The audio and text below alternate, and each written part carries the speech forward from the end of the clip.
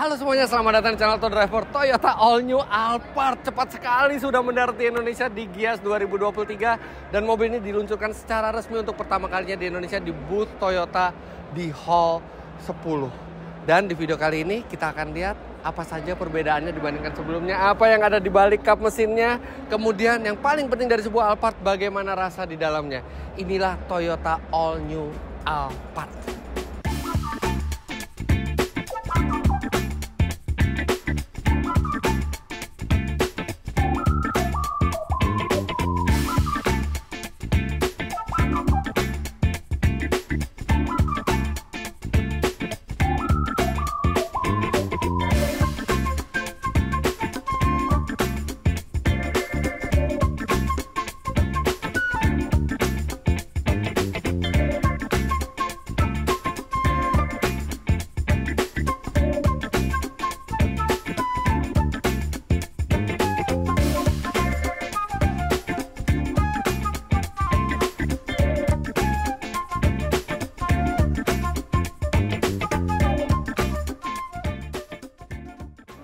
Sebenarnya Alphard ini ada temannya atau saudaranya yaitu Velfire. Velfire bentuknya seperti ini yang all new.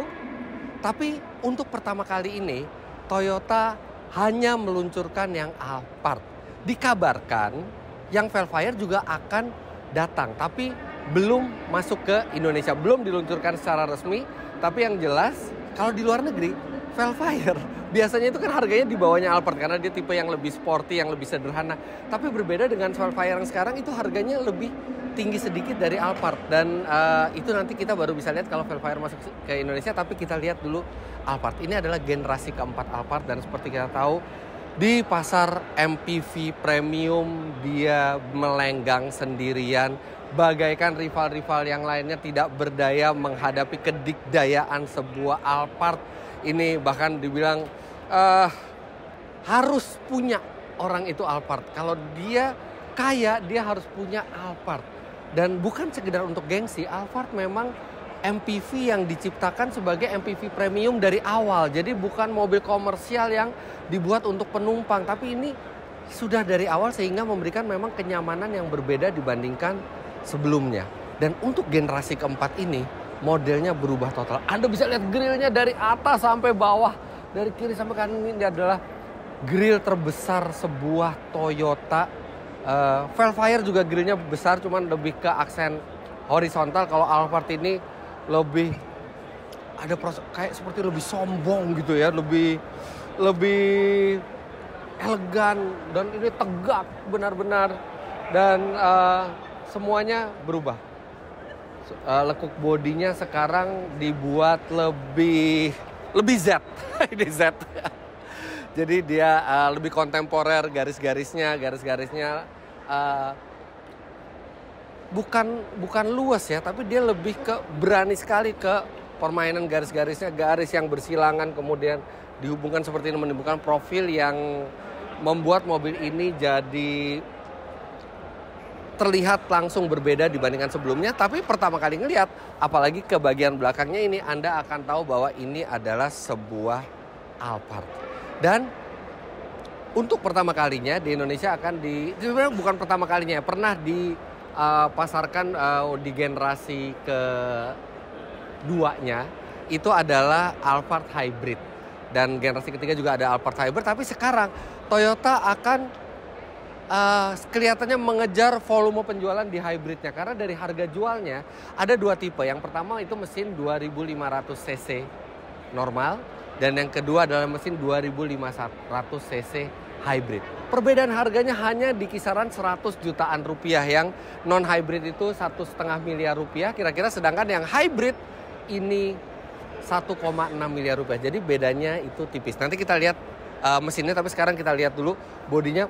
Velg menggunakan two tone dengan ukuran ban 225 55 R19 kemudian bagian belakangnya ini untuk Alphard memang lampunya terlihat ramai ya di sini. Dan um, body kit sampai bawah side skirt itu sudah standar di model ini. Jadi terlihat dia lebih sporty dan lebih elegan. Lampu LED-nya kecil di sini. Kemudian juga ada uh, fog lamp dan Alphard yang baru ini kalau Anda lihat besar logonya karena dia sudah dilengkapi dengan Toyota Safety Sense. Ada fitur kamera juga. Sekarang kita lihat. Sebelum kita masuk ke dalam, kita lihat dulu uh, mesinnya. Nah, jadi ini yang sekarang kita lihat ini adalah unit mesin hybridnya. 2500 cc, 4 silinder, full hybrid dan kita tahu bagaimana efisiensinya sebuah hybrid Toyota. Tenaganya juga lebih besar kalau yang 2500 cc non hybrid itu di sekitar 180 sampai 190 PS, sedangkan mesin ini 250 PS. Dan dia dengan transmisi CVT dia menggerakkan dua roda depan. Jadi Alphard ini tidak ada lagi varian yang 3500 cc V6-nya bahkan Lexus LM-nya itu juga menggunakan mesin yang sama 2500 cc hybrid. Jadi inilah uh, Alphard yang mesinnya sama dengan Lexus LM. Nah, sekarang kita akan masuk ke dalam untuk melihat bagaimana rasanya di dalam Alphard ini. Jadi mobil ini sudah menggunakan pilot seat ya, jok individual dua terpisah dan kelihat dari bentuknya kelihatannya sangat nyaman dan oh Alphard memang selalu sangat nyaman dan um, ini pengaturan recliningnya itu dari sini. Nah, jadi bukan di bagian luar lagi tapi sudah di bagian dalam seperti ini ada pendingin dan pemanas kursi. Kemudian di sini akan ada layar yang layar itu bisa mengendalikan audio, kemudian mengendalikan uh, eh, AC juga. Tapi ini untuk mobil display di Gias ini tidak uh, ada layarnya tapi aslinya itu ada dan ini bisa rebah sekali tempat duduknya sangat nikmat dan yang sangat berbeda adalah atapnya. Jadi atapnya ini sekarang punya dua sunroof, tapi sunroofnya itu bukan di depan dan di belakang, tapi di kanan dan di kiri. Jadi ini unik. Jadi Anda tetap mendapatkan sensasi terang, sensasi lega, dan uh, bentuk dari sunroofnya itu unik. Untuk space-nya sendiri tidak jauh berbeda dibandingkan generasi sebelumnya walaupun Toyota mengklaim untuk baris kedua ini dia legroomnya lebih besar 5 mm sedangkan untuk bangku paling belakang ini lebih lega 10 mm dan itu nggak ada nggak ada komplain karena dari sebelumnya Alphard juga sudah terkenal lega baik di bangku tengahnya maupun bangku paling belakang. Bangku paling belakang itu bahkan bisa untuk orang dewasa sampai tiga orang karena ada tiga ininya apa uh, headrestnya. Oke, okay, uh, eh, ya sudah pasti legroom lega, headroom lega. Ini anda bagaikan VIP duduk di sini. Uh, sayangnya Alphard sekarang tidak memiliki lagi sandaran kaki. Sandaran kakinya hanya yang di sini. Eh, ini buat Oh, maju mundurnya sekarang sudah elektrik juga. Nah, kalau untuk sandaran kakinya ini ada. Nah, tapi sayangnya tidak ada sandaran kaki yang dari kursi depan itu hanya ada sampai Alphard generasi kedua tapi ini sih ini ya apa uh, ini bisa dibilang memang sudah sudah nyaman settingannya oh ya ini uh, nyaman sekali duduk di sini dan di kursi juga ada cup holders cup holdersnya terletak di sini Ah, ini dia cup holdernya. Ada satu di kanan, ada satu di kiri. Kemudian uh, ini juga ada tombol di sini untuk memajukan kursi.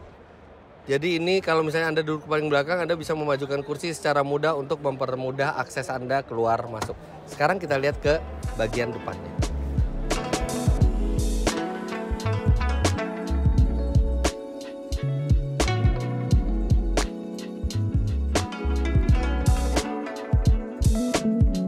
Wah, bagian depannya berubah total. Dan ini langsung terlihat seperti mobil yang jauh lebih simple, jauh lebih uh, ini ya, jauh lebih minimalis.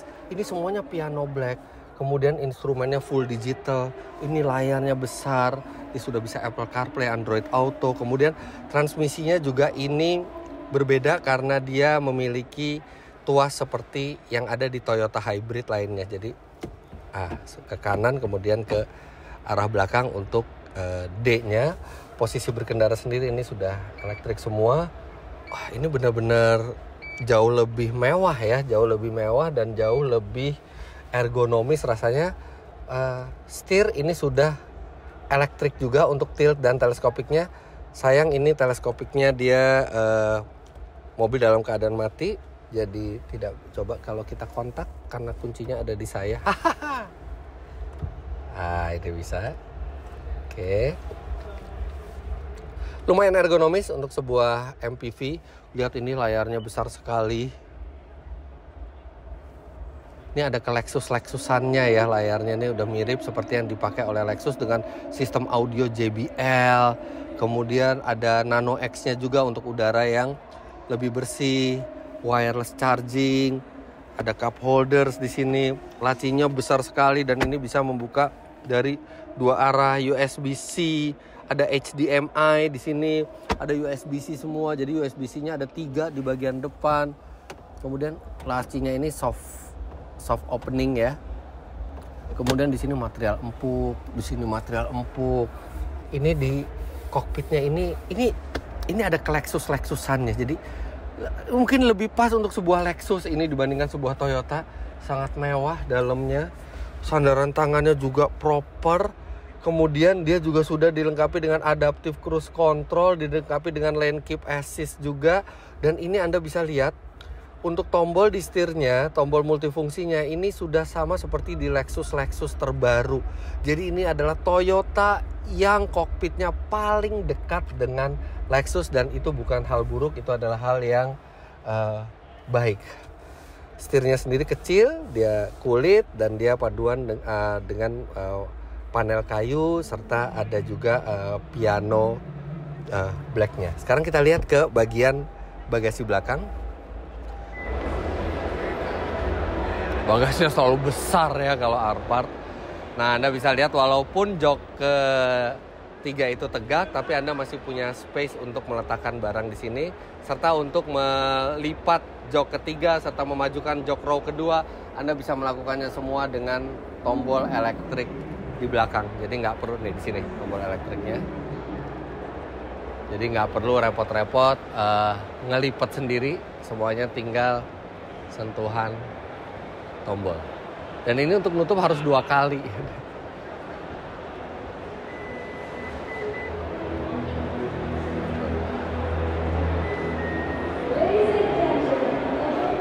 Kamera parkir sudah standar. Begitu juga dengan kamera 360. Jadi mobil ini juga akan uh, mudah jika parkir. Nah, sebenarnya Alphard ini bukan mobil yang dibeli untuk pengendalian yang baik. Tapi untuk generasi terbaru ini Toyota menggunakan uh, platform TNGA dan itu diklaim Toyota meningkatkan rigiditas mobil ini sampai 50% tapi tanpa mengorbankan kenyamanannya. Bahkan kenyamanannya diklaim juga meningkat dengan noise, vibration dan harshness yang lebih baik dibandingkan generasi sebelumnya. Kemudian ada satu lagi, membukanya itu bisa dengan pencetan. Nih, kalau kita mau nutup tinggal seperti ini. Sorry. Menutup seperti ini. Kalau kita mau buka, kita juga bisa pencet. Jadi tinggal pencet aja ini. Nah, jadi lebih mudah, nggak uh, effortnya nggak terlalu besar. Ini tidak ada pijakan kaki ya. Jadi kalau di luar negeri itu Alphard tuh ada pijakan kaki. Di sini nggak ada, tapi minimal Anda seperti biasanya punya uh, pegangan tangan yang kokoh untuk membantu Anda naik sini. Nah, terus uh, sayangnya ini tidak ada pengontrolnya di sini. Tapi kalau ada pengontrolnya itu kita akan bisa menutup tirainya. Ini tirainya kalau yang untuk Indonesia dia pakai model manual ya. Sebenarnya kalau yang di luar negeri tirainya itu bisa jatuh dari atas ke bawah. Set gitu ya. Secara elektrik. Tapi untuk yang ada tuh. Ada itu di belakang. Coba kita kontak dulu ya siapa tahu bisa. Kontak tapi sayangnya nggak ada pengontrolnya di sini.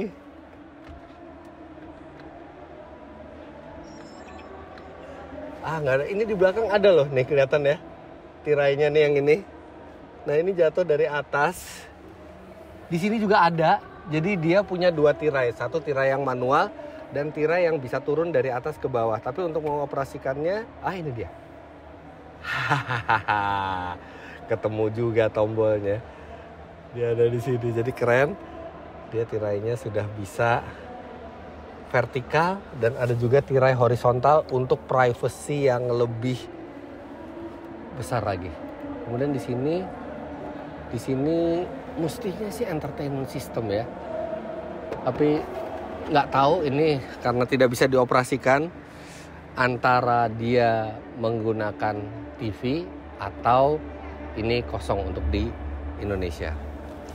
Untuk AC Nah, di sini ada listrik AC 1500 watt. Jadi Anda bisa e, mengecharge laptop atau alat-alat rumah tangga lainnya karena ini colokan listriknya e, cukup besar wattnya sampai 1500 watt. Nah, di sini tidak ada pengaturan AC. Di sini ada laci yang besar. Ini cocok untuk jadi tempat sampah nih kayaknya nih. Pas banget ya.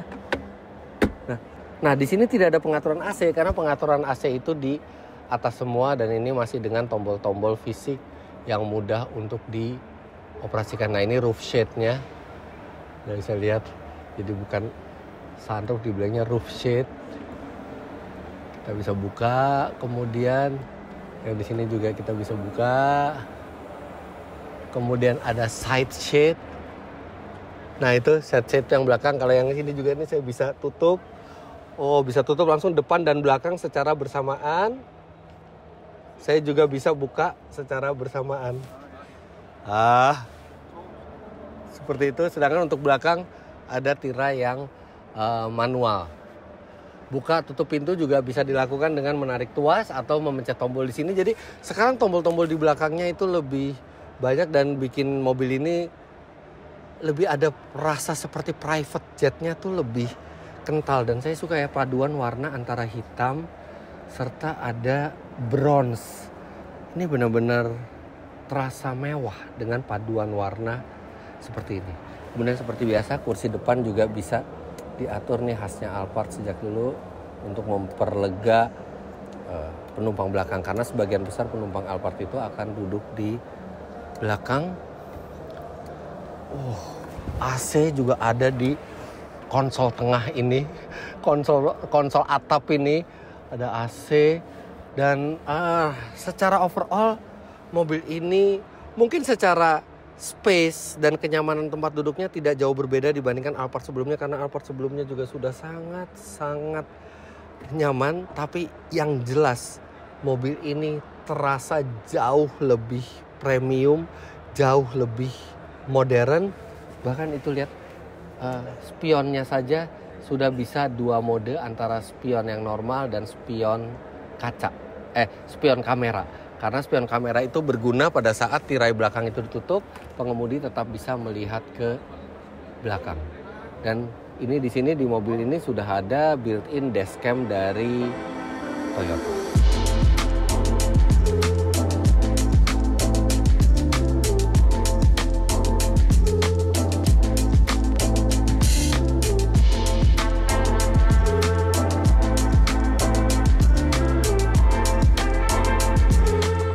Ada satu hal sebenarnya yang agak mengganggu.